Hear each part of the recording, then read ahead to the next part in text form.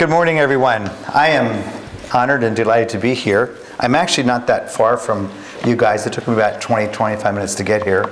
So if you all want to come down and visit me sometime, I'd love to entertain you at our facility, actually. I mean that seriously because we are close by. We have a great restaurant, serves Lancaster County comfort food, and I'm going to show you our corn maze in just a little bit also. But I'm just going to give you a little bit of history about myself, and um, then I'll lead into our actual um, presentation that talks about a grocery store and a restaurant, hard work and fun. And uh, we'll talk more about that later. I'm probably going to talk more about um, some of the ethics that we have and some of the values that we have and some of our vision, mission, and value as much as them about the actual profit loss and all that. But I will tell you right off the bat, before we even get into the history of, of our company, is um, if you're thinking, and I'm, i think most of you guys are like into business or will be studying business, is that correct? Am I, fair to say that? Um, if you're thinking of starting a grocery store and a restaurant, if it is one of the lower margin items when it comes to uh, business that you can be in. In the grocery store, if you do one cent to the dollar in our industry, and that's pretty much nationwide, you're running a good grocery store. So when I get kids in and school tours and we sit down and we talk about our business, I get 100 pennies out on the table and I say, okay, when all the bills are paid, when my salary is paid, the electric bill is paid, the insurance bills are paid, how much is left to reinvest in the company or use? It's a penny. Okay, so it's really a tight margin industry. That's for the that's for the grocery store. Now the restaurant is a little better than that. We have a uh, 200 seat restaurant, and uh, we serve breakfast, lunch, and dinner. And if you like Scrapple and Lancaster County favorites, uh, you have to come down. I'd be happy to give you uh, a good breakfast buffet on a Saturday or Sunday, and you can actually uh, check that out uh, at our facility. But that margin there is usually three to five cents uh, on, on the bottom line after all the bills are paid. So it's competitive. It's got to be done right. There's not a lot of room for error. So believe me, when we do uh, planning and we do long-term planning, strategic planning, we have to make sure that we, we spend our money wisely, and uh, it's just the nature of our business. now, a little bit of history about myself. I am number nine of 10 children. And most people look at that and they either cry and burst into tears saying, oh my God, what it's like to be that part of a big family. It's actually really kind of fun. Uh, there's two generations in our family, the same mom and dad and all of them. My youngest brother is 55, my oldest brother is 75, so they're 20 years apart. And my parents raised their kids on a farm and uh, they were living down in the little town of Farmersville, and they decided that they want to move up to the little town of Oregon. That's why we got the name Oregon Dairy. If you look in the map, it actually is a small town in Oregon. There's no post office there. It's a very small town. So my dad moved there in 1952, and that's where he raised uh, the, the 10 of us kids. I was actually born in Oregon, um, in, in, the farmhouse there with my siblings. So we had lots and lots of sibling rivalry growing up, I have to say. If you're an only child, that's great. If you have siblings, that's great. When you have nine siblings, it's really great because we really did have a lot of fun in the farm. And being raised in a farm environment was really unique because you get so many opportunities to do things that most of you probably never had a chance to do. That's swim in a big farm pond. Uh, when the ice is frozen in the pond, you ice skate on there, then you take a VW on there and you have races on the ice with cars. So we did a lot of those things that probably some of you will never get a chance to do, but it was really a fun environment growing up.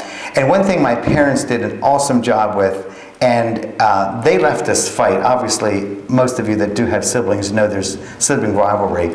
But one thing my parents, they never said we mayn't fight or we mayn't, you know, tussle. But what I really respect about them most, when we were done with that, we had to get, you know, shake hands or do whatever and back, go outside and work together and, and, get over it. And I think I'm still at 59. I'm learning still to do that. Now it's in a different setting. It's with uh, my older brothers now that are, uh, I happen to be the boss of, of two of my brothers, and one is older and one is younger than me. So I have that challenge and that uh, balancing act of being a brother and being a boss. Um, but I want to move into the uh, presentation now uh, and talk a little bit more specifically about our, uh, about our, uh, our company. That's the front of our building. Um, as taken a picture a couple weeks ago, it's a supermarket. When you look down uh, toward the, whoops, not what I wanted to hit, let me go back. Uh, down to the far left of that is the our restaurant entrance is down there. Uh, so if you ever come to our business uh, and track me down, you will come to the supermarket, and then the restaurant is uh, adjoining there. And it's a 200 seat restaurant. We serve breakfast, lunch, and dinner, and we have a um, a, a great menu with lots of fun items that, that uh, some people like in Lancaster County, and like I said, some people don't like. If you have never heard of Scrapple, come out and give you a sample of Scrapple. It's, it's, a, fun, it's a fun commodity. I'm going to talk pretty much about this today because I really believe that the foundation of why we're successful is because we have a vision, mission, and value statement. Uh, our mission statement is to create an extraordinary experience. And we try and do that in every way we can in the supermarket, in the restaurant. Uh, I'm going to show you a picture of agritainment, which we do a lot of now, which is agriculture and entertainment combined. We call it agritainment.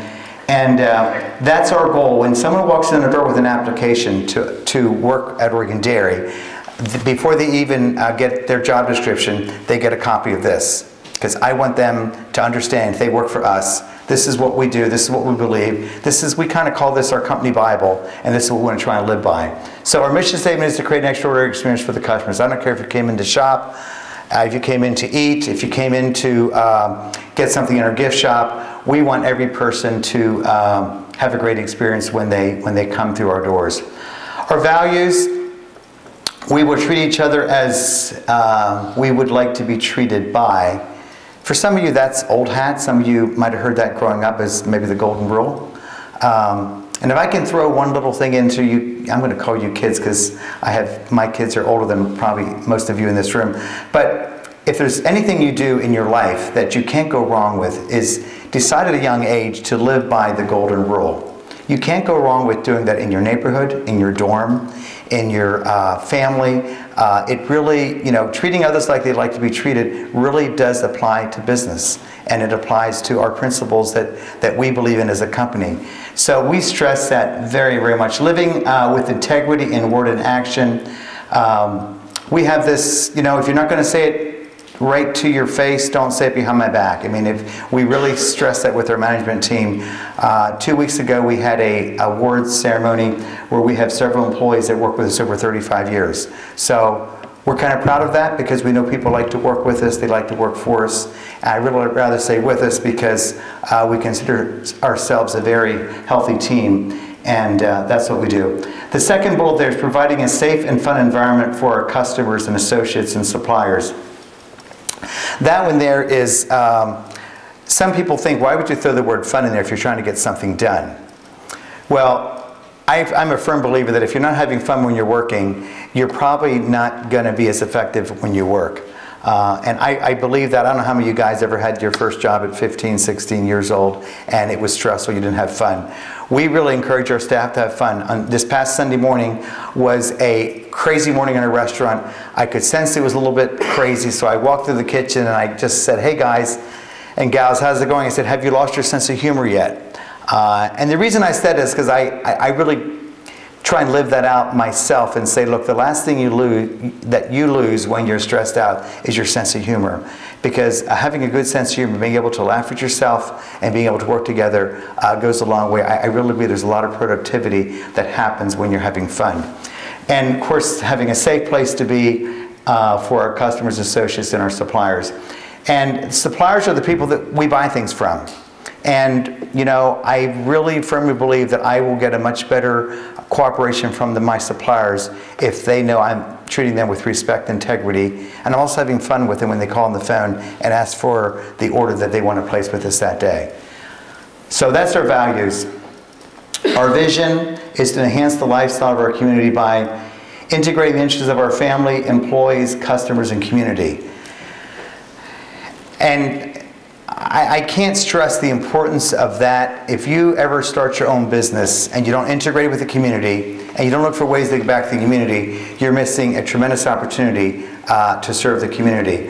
How do we do that? And I'm going to just talk about a couple simple things that we do. Every Saturday in our carport that you saw a picture of at the beginning, uh, we have carport fundraisers where people, an organization calls and says, you know what, we want to earn some money can we do it in your property? So we get out a grill we get out the hot dogs, we get out the hamburgers, and from 10 o'clock to 2 o'clock, they come out and they cook hamburgers and hot dogs, they sell them to the consumer, and they take that money and they use it for their organization.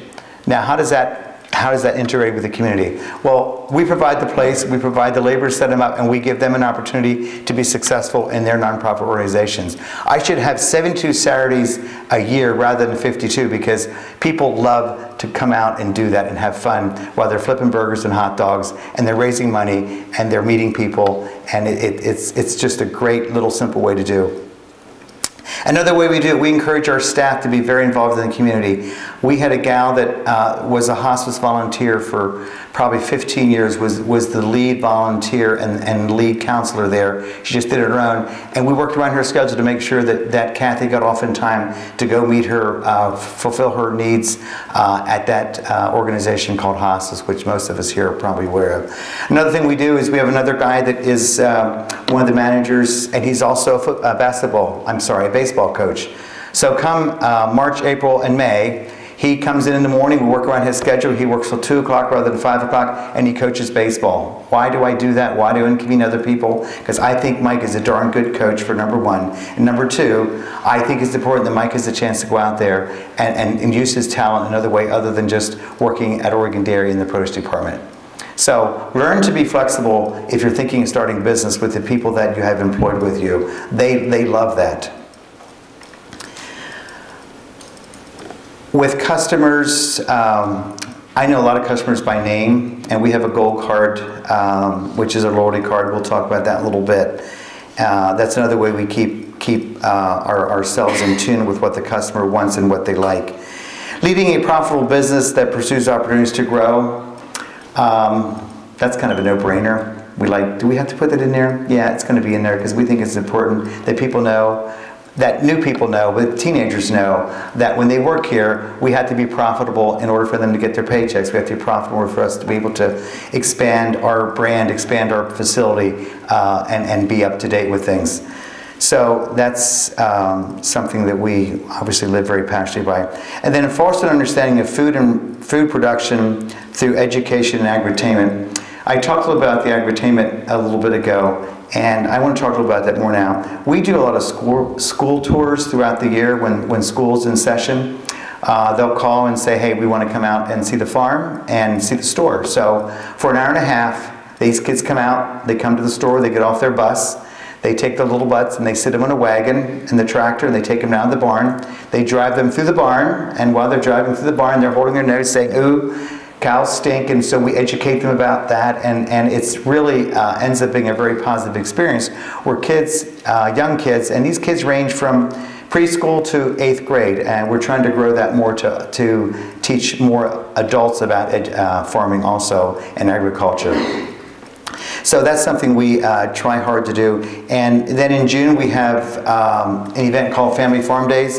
And if you ever want to go on our website and check us out, go into OregonDairy.com and you can see all the crazy things that we do. We're, we're not your conventional supermarket that all we do is sell bread and meat. We do a lot of other extracurricular activities that we think are fun. We have a playground outside that families bring their kids out to and play. And this week, this year, we spent $5,000 on a jump pad.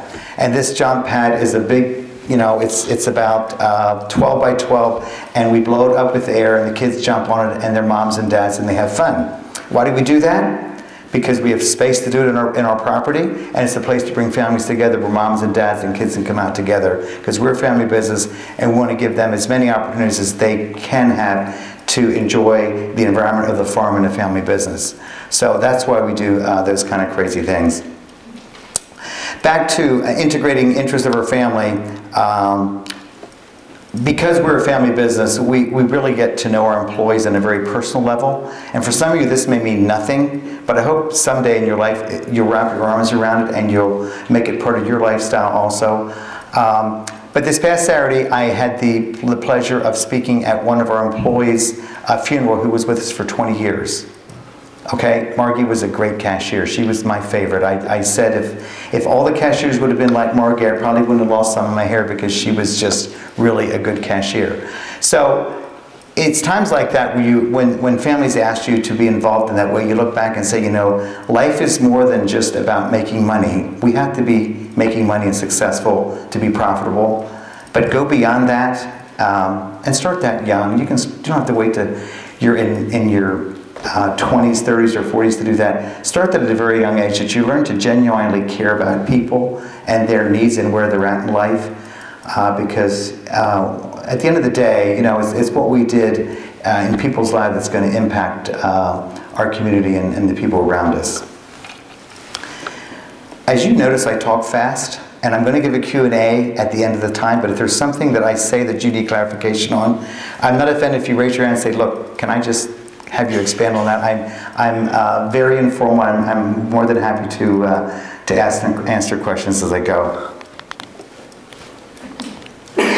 Okay, if you look at the uh, org, we call this an org chart um, of our company.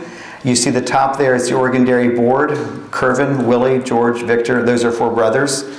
Um, I am, they're kind of my boss in a way, but when it comes down to daily operations, why they, uh, they have to listen on me. I, am the final decision maker sometimes, and believe me, when there's brothers that are older than you and you become their boss, that does create a certain dynamic sometimes that we have to work through, sit down and talk out, but it's all good. I enjoy doing it. And then if you uh, go under there in the left-hand side, you see the leadership team, uh, and the, the, the, one person leadership team is Jim Hensel. He takes care of all the perishable departments in the store, the meat, deli, uh, produce, seafood, bakery, and the garden department. And we have the names of those managers on there. So he kind of, that's kind of his, his territory, what he does on a daily basis, uh, keep those departments uh, flowing smoothly. Then the, the next department is the non-perishable manager, which is my brother Willie. He takes care of grocery, dairy, frozen, and we have a gift shop there also. And uh, Kay in the gift shop happens to be his wife. So husband wife teams we can talk about that another day that's a whole other session how you do family business when you have spouses involved then, then my brother Vic's in charge of agri-tainment. Um, he does the maintenance of the property, the equipment the, the store. This morning he was out there uh, working on our, our, our, vacuum that we use to, to, sweep up leaves, and he keeps the, the uh, property in tip-top shape. And he works on our master plan. We have some plans for expansion down the road. He takes care of that and then oversees our, our maintenance department and milk and drink department. Um, we have a herd of about a thousand cows that my brother George and his family take care of. And uh, he helps oversee that part of our, of our uh, company because we do process, when I say process, we homogenize and pasteurize our own milk there and uh, sell it in, right in our store. So we have farm fresh milk at Oregon Dairy, I can guarantee you that. But the farm is owned by a separate entity. That's I'm not an owner of that. My brother George and his kids actually take over the farm. Then we have a marketing manager, Nancy. She takes care of our advertising budget, special events. She's out today gathering up things for our corn maze. Um, she leads our marketing team and also oversees our safety committee that we have uh, for our, our facility. Uh, then I'm the store manager, Curvin. I am take care of the manager and duties. I left today. I had to find someone to cover for any kind of questions that come up uh, while I'm out today. Uh, I uh, oversee human resources. I oversee payroll, accounts payable, receivable, and uh, the front end staff, which is about 125 people that operate uh, in the supermarket that are, are cashiers, baggers, and all kinds of uh, other fun positions they have uh, when they work at Oregon Dairy as, as a front end staff. Then we have a restaurant manager uh, who oversees our salads and, and uh, front of the house restaurant, oversees the back of the house, which has their own managers, our ice cream shop. And by the way, I'm going to put a little plug in it for ice cream. It's really good. It's like 14% butterfat, and the milk from our cows goes to a local place that actually makes our ice cream from our cream. So I'd be happy to give you a dip of that if you show up and, and uh, and I'll give you a dip of ice cream also. And then also, uh, he oversees the, uh, the deck and the playground. We have a huge playground um, that people, I talked about the jump pad. Uh, we have a huge playground out there for kids to come out to go sliding boards. And so they come eat, eat ice cream and they, they hang out out on the deck and uh, have a good time out there. In the summertime, we have Friday night on the deck uh, every second Friday night where they get a musician and they they gig around out in the deck and they take a break and eat ice cream and the kids are out having a good time in the playground. So it's all part of what we think uh, we can do in our, our property that sets us apart from what other retailers do that just sell groceries and, uh, and meat. Okay, you see the pie there. Um, Looks like a big pie. If you add all those numbers together, uh, you wonder how big our business is. It's about $23 million in annual sales. Okay, that's kind of what all those these departments add together. The top one there is the agritainment, and you see the $116,000. That's a number from last year. This year, that number is probably going to go up to like $170,000. That's a big increase. And that's the part, I'll show you a slide of that later on, of what that all entails with what all falls under agritainment. Then you just go around the whole, the, the whole uh, corner there, milk and drinks, that's 462,000. Bulk foods, which we're very high in that, that's about 2% of our sales. Uh, those are, if you guys go to places where you can buy gummy bears, you can buy stuff that we package. We have a phenomenal girl that does a great job in our bulk food department, and that actually translates into about two to two and a half percent of our total volume. She does a great job. We have a little gift shop there for people to buy things for gifts. Health and beauty care items are 731,000. Our bakery, uh, we did a little million dollars over there. Our bakery, um, if you're from Lancaster County and you get the Lancaster paper, we got the award for the Reader's Choice Award in birthday cakes and wedding cakes.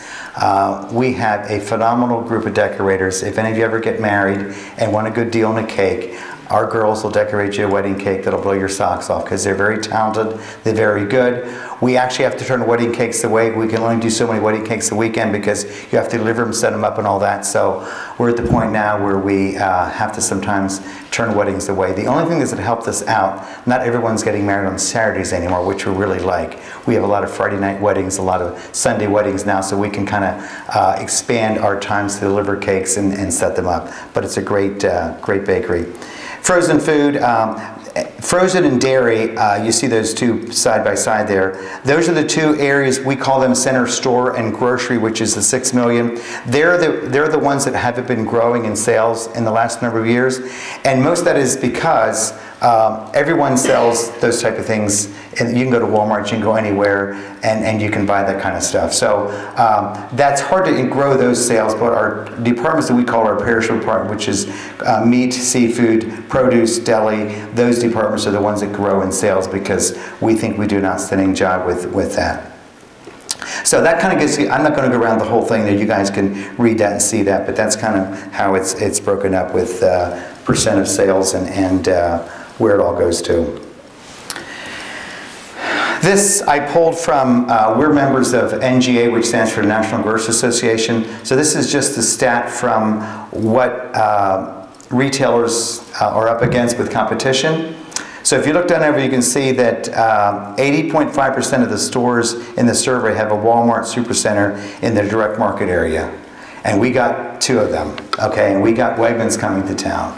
How many know of Wegmans? Anybody in here know what? Ah, okay, good. They're a great organization. They're, they run a really, a really good, and they're coming to Lancaster. So we have more competition coming to Lancaster. So we have to differentiate ourselves to make sure that we can compete against Wegmans. Because most of you that probably know about Wegmans know how good they are, how clean their stores are, how big they are. Just, just for the record, their new store will be 120,000 square feet. Now that's hard to visualize uh, for, for all of you to see. That's a huge store. The average supermarket is usually between 30 and 35,000 square feet. So they're basically four times larger than what the average supermarket is in the US. So they build big stores. They have to do over a million dollars in sales, million and a half to even break even. And we're running between uh, about 400,000. So you know they have to acquire a lot of volume. So when they move in here, they're going to go after volume because in order for them to survive, they're going to have to do a lot of volume. But they're, I would never say anything bad about that organization because they're very well run and it's another family business and they do a really great job.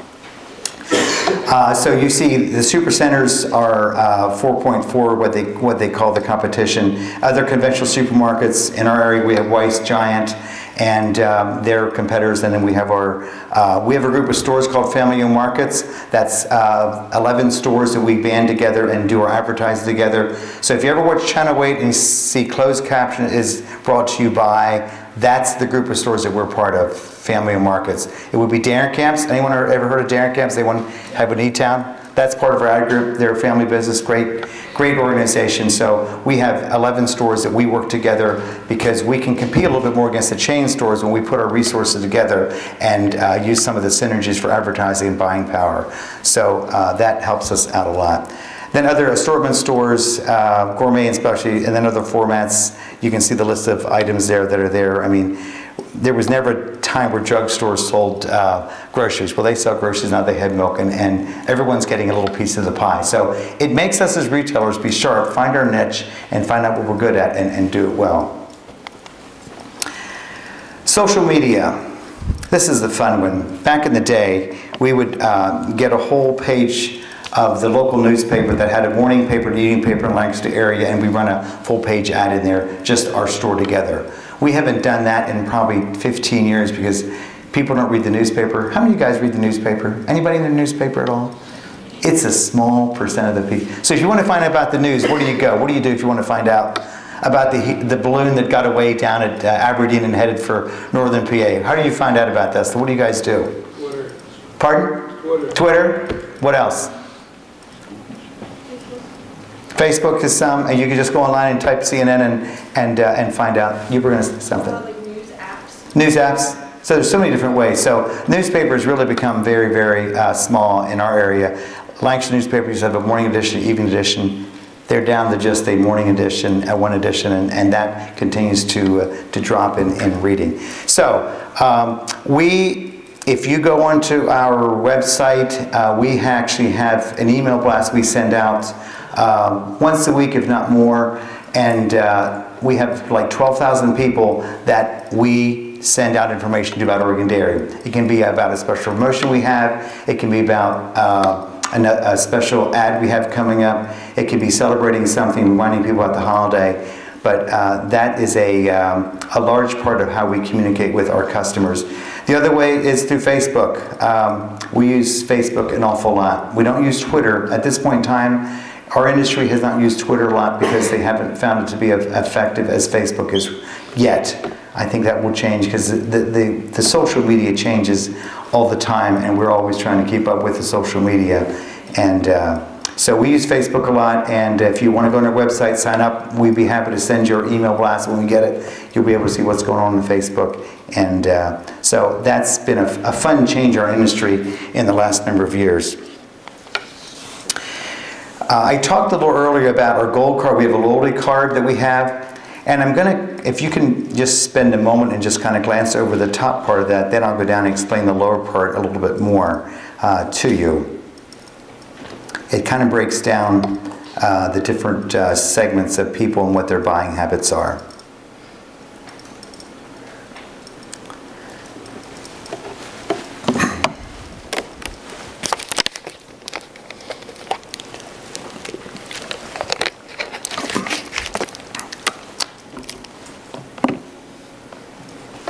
Okay. you can obviously see that 4% of the people, when we look at the gold people, they um, do 32% of the spending and they average $156 a week in our grocery store. We love them people. We want more than people because uh, they're, they're, they're our best customers. In a couple weeks, we're going to send out a Christmas card to them. We still use mail occasionally, and give them a $10 gift card to use and just thank them for being wonderful customers. Okay, it's part of what we say, you know what, they pay the bills, they hear an awful lot, and we're just going to bless them with a $10 they don't have to spend 25 bucks to use they just it's a thank you for being our valuable customer. Uh, so everyone in that category will get a, uh, a christmas card from Oregon Dairy and uh, we're going to let them spend $10 on us and enjoy their Christmas that way. Then you see the silver category is 20%. Uh, they do 41% of the spending, but they only spend $30 a week. We like them too, by the way. We, we like them all. They're, they're, all part of the, they're all part of the package. Um, and then I missed the end column there. The, the people that are gold people, they come in 3.1 times a week. We see their smiling faces darken our doors. And the people that are silver, they're basically there not quite once a week. Uh, but they also spend a lot of money with us and, and uh, they're great customers. Then you have the bronze.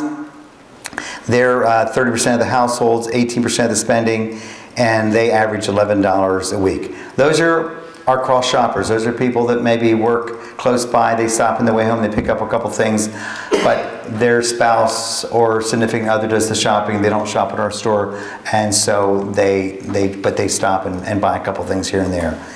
And then the 10 people, 10 people. The people in the 10 category, uh, they're 46% of households, uh, and they're only 9% of the spending, and the average $3.57. And those are the guys that are probably working on a work project from PennDOT or someone that comes in just gets a couple things, and they're a small, a small percent of the people, and they only average one tenth of a, of a time a week. So that's how we kind of break down the, the, the cards. We're really trying hard to uh, do a better job with our card program and, and use it for people that are the more you spend with us, the more you get. So our marketing director is going to work very hard this coming year to do more promotions for the people that are in the gold category uh, that spend $156 a week because they're the ones that pay the bills, and we really like to see them coming back as often as they can.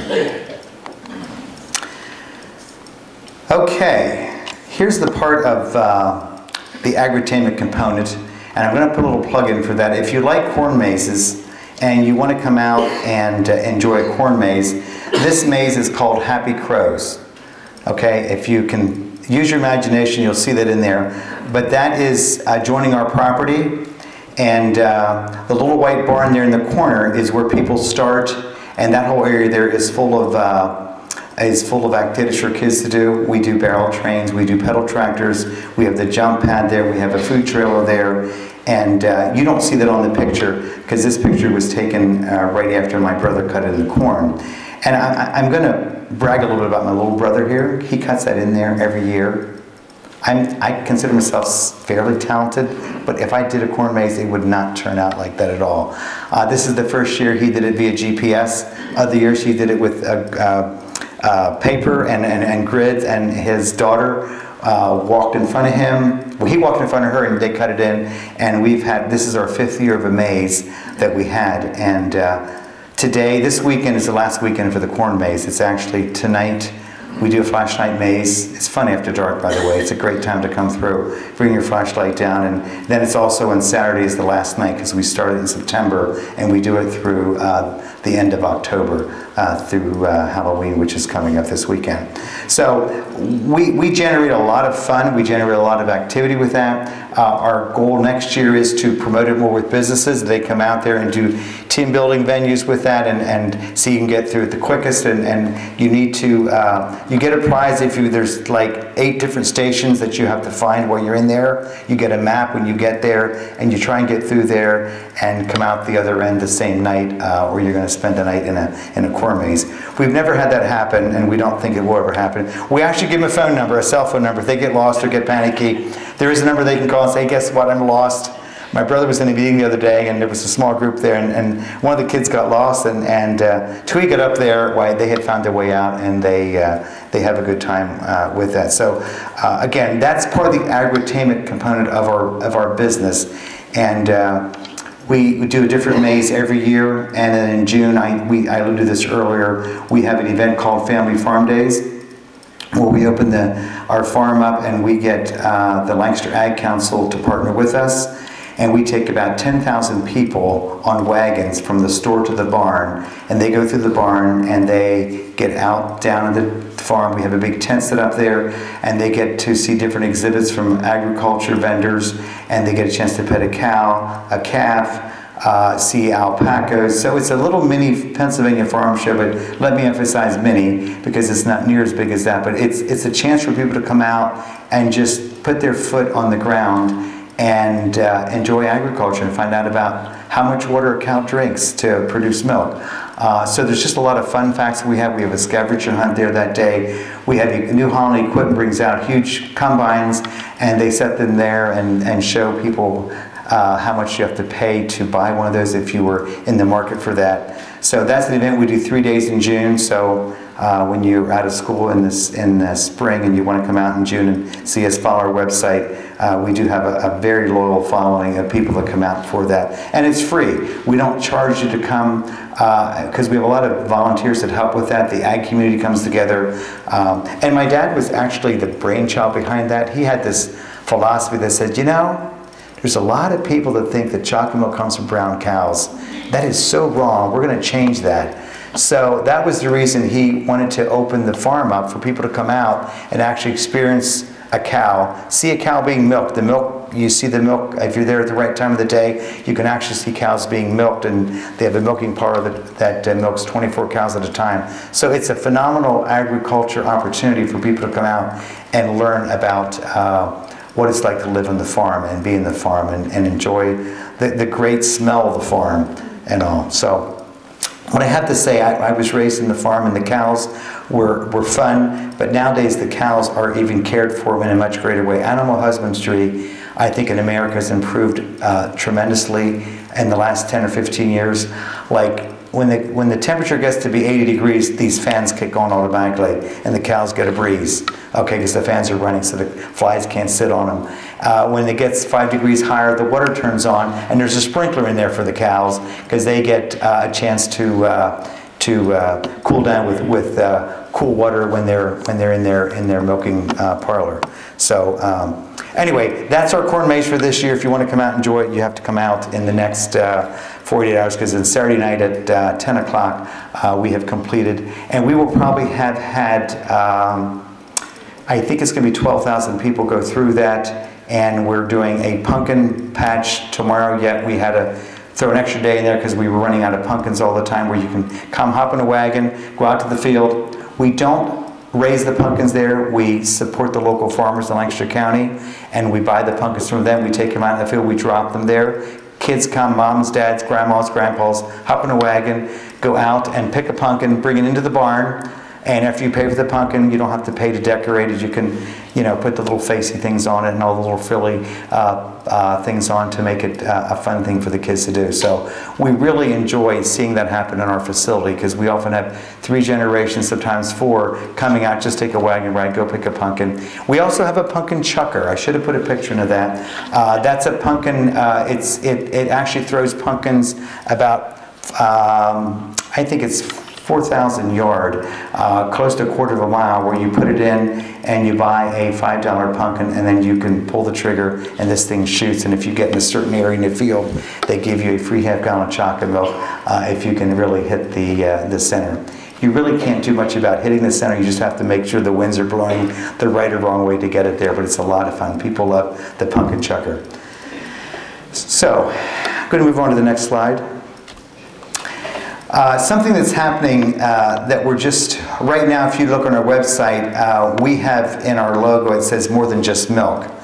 Uh, we're changing that a bit. In the next year, our, our, our new initiative we're going to have this coming year is um, to change that up a bit. We're going to have the Oregon Dairy, uh, the generic on the left-hand side where it says farm fresh and family fun, um, because we really want to be different than just a supermarket. That's we want to throw fun in there and throw family in there. And there'll be the market at Oregon Dairy, which is on the left uh, there, the lower one, and that refers to our supermarket um, that people can come and, and it's farm fresh and it's family fun. The next category is the farmstead, which is the place you'll come to for agritainment and do the fun things you do out in the fields.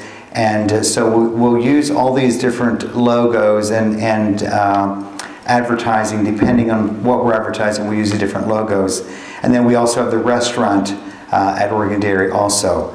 So the theme will stay the same, farm fresh family fun, but we'll, we, we have the farm, we have the restaurant, we have the market, and then there's times we'll just use the Farm Fresh Family Fun uh, logo. And that's something that you guys have found out before my staff found out about it. So don't post it on Facebook because I do want my staff to find out about it first. We just got these approved a couple uh, uh, last week and we haven't rolled it out to our employees yet. They know we're working on it, but so I'm sharing you something that is, is uh, not been out to our staff yet at this, at this point. But we're excited about that because we think it, will it'll, again, set us apart and give us a chance to uh, differentiate ourselves from our competition and uh, let people know that when they come to Oregon Dairy, there's all kinds of options they have when they come to Oregon Dairy. I spoke earlier about the farm and, and how they take care of the cows, and, and uh, that picture you see there, my brother's in the middle there with his wife Jean. The big dude beside him is Chad, my nephew, and that's his wife and kids uh, there uh, to my right. And then on the other side is my niece Maria and her husband Tim and their three kids. And those three kids are the ones that are over there feeding the calf. Um, Again, this is apart from Oregon Dairy Supermarket and Restaurant. It's a separate LLC, but my brother George, who is an owner of the store, is also an owner of the farm. Uh, my dad sold a portion of the farm to him because he was the only one out of out of uh, 10 kids that wanted the farm. God bless him. I'm so glad he wanted to do that because I sure was tired of milking cows at that point. So my brother George and his family have uh, taken the baton and do a great job. And they received the uh, Outstanding Farm um, Sustainability Award this past year uh, across the U.S. So they received an award for that. And working very hard in the farm to fork experience, uh, like I said, the milk that we produced from the farm, by the time it comes up to us, it could be, we homogenize the pasture, it could be just within a couple hours from the time it leaves the cow till we actually process it. So we talk about farm fresh milk, I can look you right in the eye and say, look, this is farm fresh milk because it came right from the farm on a truck up to the store and we homogenize and pasteurize it there. Uh, another initiative they uh, are working is see the Keeping Chesapeake Bay Clean. Uh, farmers in our area have done a phenomenal job in the last couple years to, to do their part in making that happen. Uh, I joke with my employees, every new employee that starts has to hop in a wagon and take a farm tour to get the history of our company. So when I do that, I, I joke when I go down the, the hill and we cross the stream, and the stream has a wide out either side. There's there's grass and there's uh, all kinds of uh, plants there. And it, my dad would say, "Get the darn mower out and mow that down because it looks awful." Because when he was around, he mowed everything right up to the up to the stream, and it was really nice and clean, which was great. But the, the plants that we have there now are a filtering system. Uh, it's great for animal habitat and also helps drain uh, dirt and pollution that's getting into the stream because the little stream that runs through our property goes down to the Conestoga, the Conestoga goes into the Susquehanna, the Susquehanna goes down to the Chesapeake Bay. So farmers are really working hard at, at doing their job and helping to get that cleaned up because they've taken a lot of abuse from it a little more than they probably should have because there's other reasons the Chesapeake Bay has gone amok. It's just not all farmers. Uh, we residential people do the same thing. But uh, they really have worked hard at, at keeping that clean. They don't let cows stop and stand in the stream and do their thing, go to the bathroom. That, that, they don't. That doesn't happen anymore. They put fences up so cows can't do that. So there's a lot of initiative that farmers are doing to help keep uh, the, the Chesapeake Bay clean. And it, takes extra work, it takes um, extra time sometime, but when it becomes part of your lifestyle, uh, it's just like eating healthy. You just do it because that's what you believe and that's what you want to do. So uh, the farm, like I said, they're, they're a, uh, obviously a seven-day operation also. They milk three times a day, and uh, they do a, a, great job in, uh, in uh, milking 500 cows and if you really, and when I said at the beginning, and because I'm about to wrap it up, my, my timer is going to go off here shortly, uh, I would be really delighted to take any of you sometime uh, on, on, a, on a tour of the farm, of the composting facility. The farm actually takes manure from the cows, turns it into methane gas, and all the electricity on the farm is, um, is from cow manure. So we have this little joke going on. We, we want a bumper sticker that says something other than bit happens to make people know that we, uh, we do make electricity out of our manure uh, and we're very proud of that. And they actually sell some of the electricity from the farm to the store then because they create more generate more electricity than they can actually use down on the farm. So uh, they're very proud of, of, of, that to be able to use that resource. They also all the compost all the uh, trimmings we have from the store, leftover food to people that don't eat all their food. We, we compost that. That goes down to the farm in a compost pile. They turn that in and they rework it. By the time it's done, it's sold to golf courses and, and people that do uh, turf work. And so we, we really try hard in our facility, in the store, the restaurant, farm, to make sure we're doing our share in recycling and uh, using the resources we're given in a very, in a very proper way. My timer has just beeped, so my 45 minutes is, is here. So I'm going to open it up for Q&A and any questions that anyone has, uh, because I think we're pretty much through the uh, slide presentation. I just want to flip back to and end with what I started with. I want you to do this personally. I want you to create your own, your own mission statement, your own value statement, your own goal that you have for yourself. Okay? Uh, I, I just believe in it. I think you probably have been taught that here in school, but if you don't take the time to do that, that is your rudder for your life, and that will give you some clear direction for your life. If you take the time to sit down and uh, and just do that for yourself. And it, it's just not all about what you're going to do as a career. Some of you are going to be engineers, accountants. Lord knows what you're going to end up being, but you all have such great potential. And I just really want to encourage you to. Uh, take the time and, and, and do your mission statement. Do your what do you believe in, and don't compromise that. Then I don't. We all come from different backgrounds, and we all have different things that we were taught. And now you're at the age now where your parents just cut you loose and cut the umbilical cord and said, you know what, you're on your own, and go figure it out. And as you figure it out, make some goals that you'll set for your life, and then live by them. You can't go wrong by setting goals and setting standards that you'll never regret. Any questions? Go ahead. Um, you said you're having like um, more competition come around, like Yes. Wegmans. Are you going to change any of your strategic plans?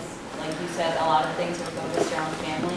Right. Are you going to keep that as a core value just because it is a core value, or are you going to have to change that because Yeah. of competition? Good question. We, at this point in time, we believe our core values are not going to change a whole lot. We're probably going to put a little bit more emphasis on uh, the things that we can do in our property that you can't do at Wegmans, which is the agri-tainment part of it, where you can bring your families and do that kind of stuff. We probably won't put as much emphasis on having Bounty Town sale for 99 cents and, and, and try. We need to still do that. But I don't see our core values changing a whole lot with Wegmans coming to town because we, we think we can, we think we've started already differentiating ourselves with our current competition and Wegmans will just make us a little bit sharper, hopefully. Good question. Another question? Yes, you.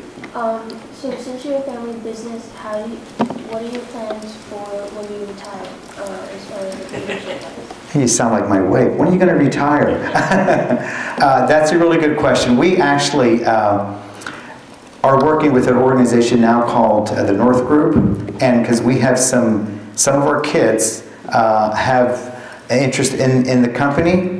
And so we're, we're actually starting that process right now. My youngest brother, who's an owner, is 55, so he's really not thinking about retirement too much. I'm 59, he's like, I'm not really thinking about it, but I need to prep that generation.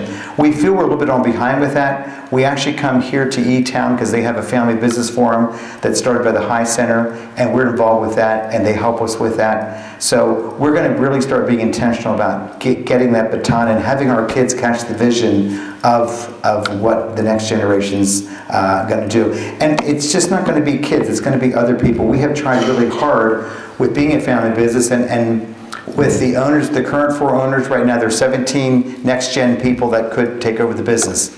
We don't want that many to do it, to be honest with you. There's not enough room for 17 people. But uh, we're, we're going to pick those people, some of them that work here that show an interest in it. But we also are very intentional about the employees that work with us for 30 years, that their last name isn't Hurst. They have a good opportunity to work at our company. They, we want them to have the same, same opportunities and the same chances. Just because your name is Hurst does not mean you're going to get to the position where I am today. You're going to have to, you're going to, have to work it there and you have to show you can do it. Good question. Any other questions? You said uh, you grew up on a farm in a farmhouse. Um, I'm from Kentucky. Mhm. Also grew up on a farm. Mhm. Came here for business. And um, I was wondering what else you might have done besides dairy on your farm. Okay. Uh, what we did beside dairy and the farm, and and I, I, I'm really reluctant to say this because some of you will think I can't believe you did that. We actually raised 35 acres of tobacco. Okay, we, we, we worked really, really hard. And I have to just tell you a quick little story about that. My father and mother were very, very conservative Mennonites. Okay? And um, back in the day, that was okay to do that. The- The church that they would be part of now that they were alive no longer allows you to be a member of the church if you raise tobacco. But back in the day, I raised 35 acres of it, and we worked our butts off. Um, but it was a good thing. I mean, it taught me how to work. It taught me how to how to uh, be committed to uh, daily chores, and, and, and you don't stop because you don't feel like you just get her done. It's pretty much what we had to do. Any other questions? Can you, um, explain more about the 11 stores that you guys are? Okay. Yeah, I will do that. The 11 stores that we're a member of is called Family Owned Markets. If you go on the website and look under Family Owned Markets, you'll see uh, Darrenkamp's, which has four stores. Yoder's Market has one store. Oregon Dairy has one store. Hers Market has one store. Musser's has three stores. So we together um, meet every two weeks and we discuss strategy, we discuss, we have an ad manager that helps set our ad together. So when you see a commercial on TV and um, it says family-owned markets, those are those stores together, and, and I wouldn't be able to pay for that commercial myself. When I split up with 11 other stores, I can afford it. So we use those synergies in advertising and buying, and it has really worked really well. And I, I look at do we compete a bit? We really do, but we're, we're competing against the big guys.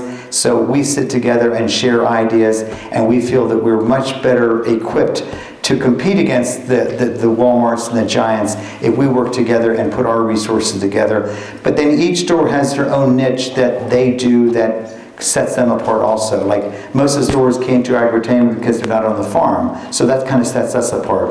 Um, Darrenkamp's does some unique things that sets them apart. So we all, they all kind of have their own niche, but collectively we work together as a group and put our synergies together. So instead of me getting a thousand dollar bill for uh, advertising, uh, I take a set, eleventh of that, so it makes that expense a lot less for me. Okay? Yeah, but you can go to the website, familymarkets.com, and uh, you'll see our logo on there also. Any other questions? Any other locations to expand, or are you just going to do the one site? That's really it. That's in our strategic plan, we, we say the next generation is going to help us deal with that. Right now, we have a lot that we can do on our facility there, so we're not really looking at a lot of other um, opportunities, especially for the supermarket. We work for the restaurant, but there wasn't, when you do the cash flow for a family restaurant, it's really, in Lancaster County, the family restaurants have fallen off pretty fast. So um, we have kind of sit back a little bit and decided we're going to focus on our facility there. We have several hundred acres that we can do things with, and we're considering putting gardens on there for people to come out and grow their own vegetables. We're considering put our own Angus beef out there and sell, you know, locally raised Angus beef. The farm to fork is where we see our next niche going that we want to hang our hat on and, and work hard on. So I would say that's the initiative that we're going to work very hard on, even in competing with Wegmans, uh, because that's something we can do. Well, that's how Wegman started, but I think what you're saying is quality versus quantity. Mhm, Correct. That's, that's correct. With, with good service, a smiling face, the extraordinary experience, we believe in it. Any other questions? I know lunch is looking at you in the face, and I know you guys have classes this afternoon. I want to be sensitive to uh, that also. Okay, you guys have been great, asked some good questions. Good luck in your, your career, uh, I mean, your, your schoolwork, uh, in your time here at E-Town College. It's a great uh, school, and I'm just glad and honored to be here today. Thank you.